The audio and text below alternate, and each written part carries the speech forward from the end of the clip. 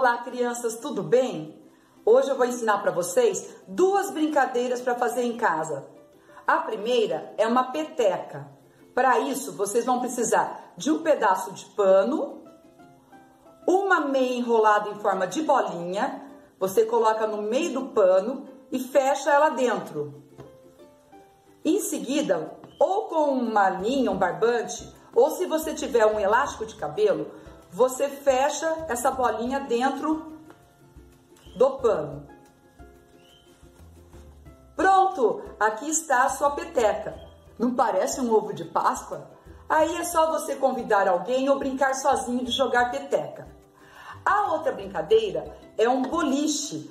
Você vai precisar de seis garrafinhas de refrigerante ou suco vazias se não tiver seis, pode fazer também com menos. E uma bolinha, novamente, feita com um par de meia. Basta você jogar e derrubá-las. Eu fiz strike.